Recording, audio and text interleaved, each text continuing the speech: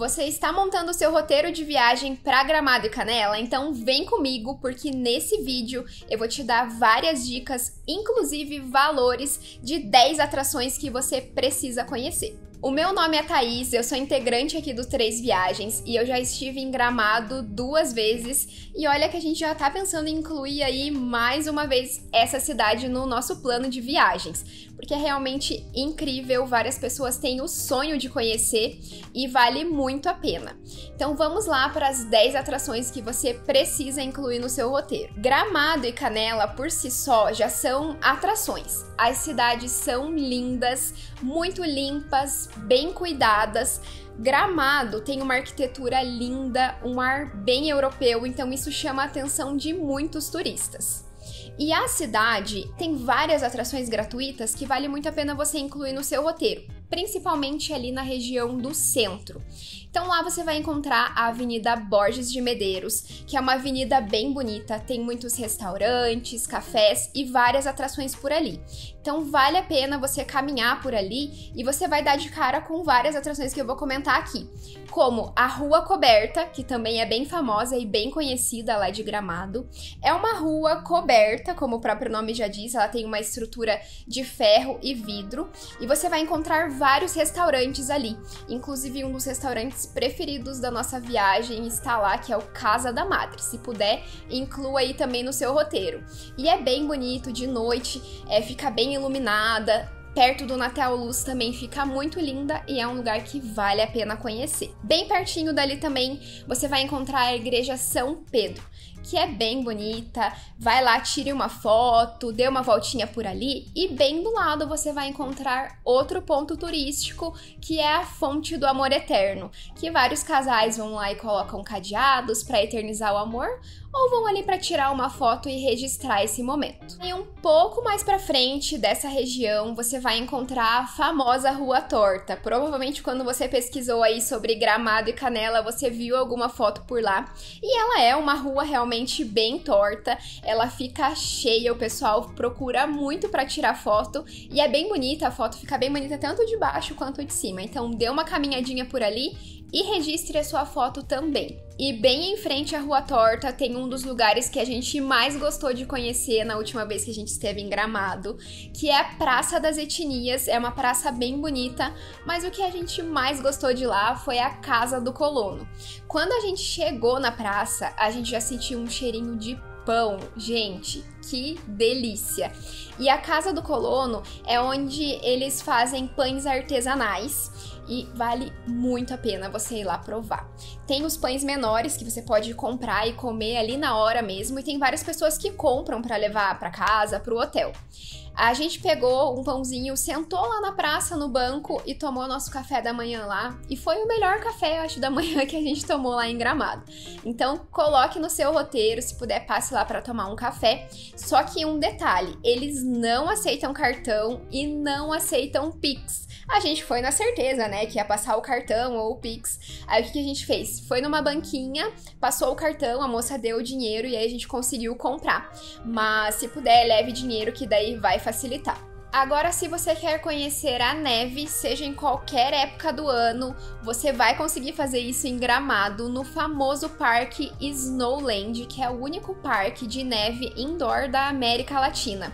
A gente conheceu, valeu super a pena. É, dá para você aproveitar. O ideal é que você tire um dia exclusivo para aproveitar bastante o parque, porque ele tem muitas atrações. Tem a montanha de neve, você pode fazer patinação, pode treinar snow, vale bastante bastante a pena para quem tem criança, sem dúvidas eles vão amar. E aqui eu quero deixar uma dica adicional para vocês. Para quem vai conhecer o parque é, Snowland, dê uma olhadinha no Prime Gourmet.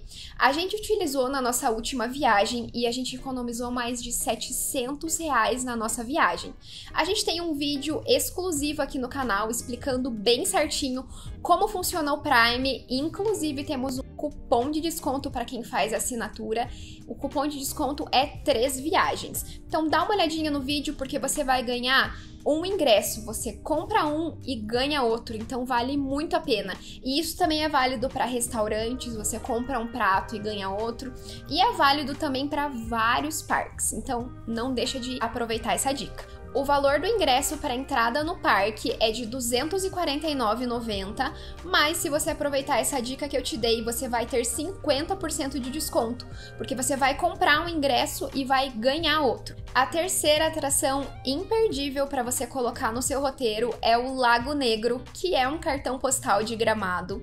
O Lago Negro é um lago artificial bem bonito. É um lugar para você ir caminhar, passar uma tarde, ficar sentado no gramado. A gente visitou o Lago Negro nas duas vezes que a gente esteve em Gramado e realmente as fotos lá ficam bem bonitas e a gente teve duas experiências bem diferentes. Porque na primeira vez estava frio, estava inclusive chovendo, mas mesmo assim a gente conseguiu fazer uma foto bem bonita por lá.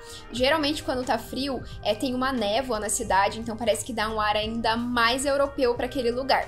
E a segunda vez estava calor, foi no verão, e a gente ficou sentadinho lá no gramado, tinham várias famílias, várias pessoas passeando por lá. Lá você vai encontrar alguns restaurantes em volta e tem a possibilidade de você fazer pedalinho também, que gira aí em torno de uns 50 reais. E uma curiosidade sobre o Lago Negro é que ele foi feito, ele é um lago artificial para justamente ter um ar europeu tanto que os pinheiros que tem em volta do lago foram trazidos da Floresta Negra da Alemanha. Agora, a quarta atração, e essa foi uma das nossas preferidas da nossa última viagem para Gramado, é o Parque Olivas de Gramado.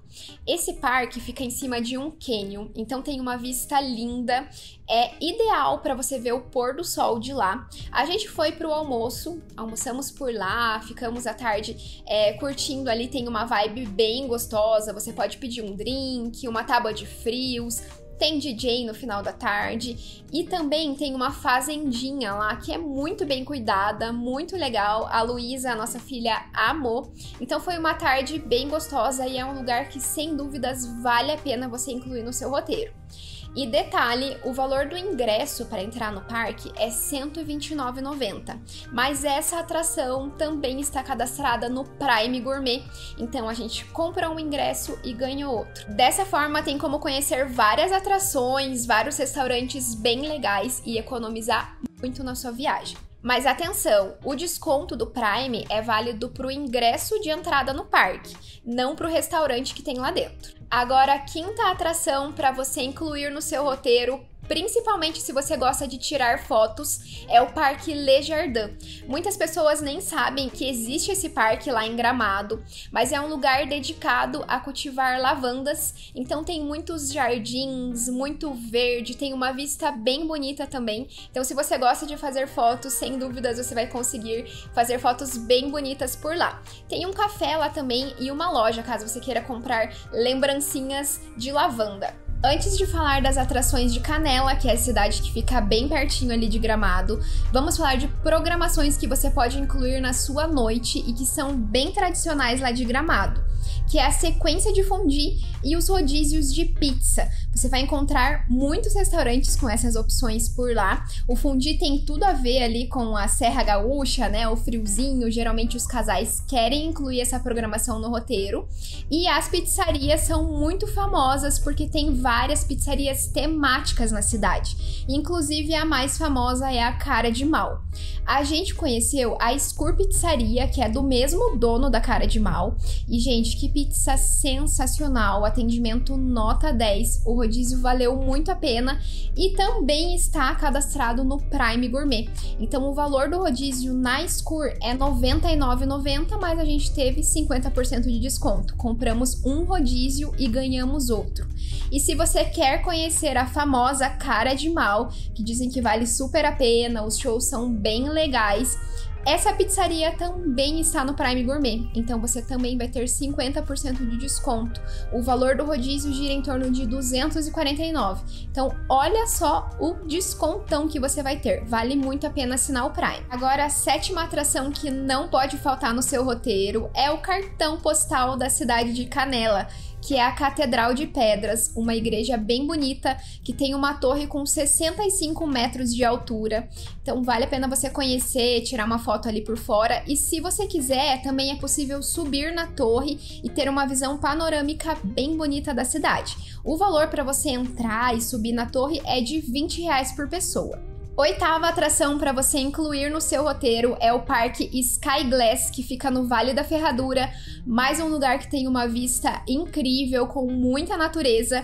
E a principal atração de lá é a plataforma de vidro que tem 360 metros de altura. É a única plataforma da América Latina e uma das mais altas do mundo. E além de caminhar pela plataforma de vidro, você também pode dar uma voltinha no monotrilho, que tem cadeiras suspensas que passam por debaixo da plataforma. Então, assim, a gente foi, dá um friozinho na barriga, mas a vista é bem bonita, é uma experiência bem legal e vale a pena você incluir aí no seu roteiro se você não tiver assim tanto medo de altura. O valor para entrada no parque, incluindo as duas atrações em alta temporada, é 200 reais e em baixa temporada é 170 reais. Mas se você não quiser se arriscar no abusado, você pode comprar o ingresso para entrada no parque, que também inclui a plataforma de vidro e o valor do ingresso é 150 reais por pessoa em alta temporada e 110 em baixa temporada. E mais uma atração para quem gosta de sentir um friozinho na barriga é o Alpen Park, que é um parque de diversões que também fica em Canela.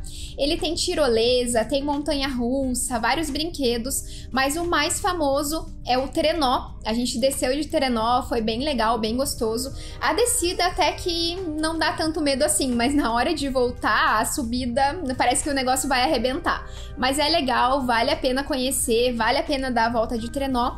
E essa é mais uma atração que também está cadastrada no Prime Gourmet comprando um ingresso você ganha outro. E tem a possibilidade de você comprar o ingresso geral do parque, aí você consegue aproveitar todas as atrações de forma livre, ou você pode comprar só por brinquedo. A gente, por exemplo, comprou mesmo só para aproveitar o trenó. Mas se você gosta bastante de parque de diversões, vale a pena aí você comprar é o ingresso geral. E o valor do ingresso para aproveitar todos os brinquedos quantas vezes você quiser é R$ 109,90 e o valor do trenó individual é de R$ 38. Agora, a décima atração para você incluir no seu roteiro é a Cascata do Caracol, uma cascata lindíssima que tem 131 metros de altura e ela pode ser vista de algumas formas. Você pode acessar o Parque do Caracol e a principal atração do parque é a cascata, ou você pode pegar os bondinhos que de lá você também vai ter uma vista bem legal da cascata. O valor de entrada no Parque do Caracol é de 75 reais por pessoa, e com essa entrada você já consegue ter uma vista da cascata, mas caso você queira ver pelo observatório, aí o valor do ingresso é 85 reais. E a outra possibilidade que eu comentei é dos bondinhos, e aí o valor do ingresso é 70 reais. E Gramado e Canela são lugares incríveis. Aqui eu trouxe 10 atrações para você incluir no seu roteiro, mas sem dúvidas tem muito mais. Tanto que a gente quer incluir esse destino novamente no nosso planejamento de viagem. E aqui no nosso canal você vai encontrar um vídeo exclusivo sobre o aplicativo Prime Gourmet que explica em detalhes todo o passo a passo sobre como utilizar o aplicativo e economizar muito na sua viagem. E também tem um vídeo sobre restaurantes de Gramado e Canela que a gente gostou muito e vale a pena indicar para você. Se você ainda não nos acompanha nas redes sociais, o nosso arroba é 3viagens. A gente posta bastante coisa legal lá no nosso Instagram, inclusive tem muitas dicas de Gramado no nossos destaques. Aproveita também para deixar o seu like nesse vídeo se você gostou dessas dicas e se inscreve no canal porque vem muita coisa boa por aí. Tchau!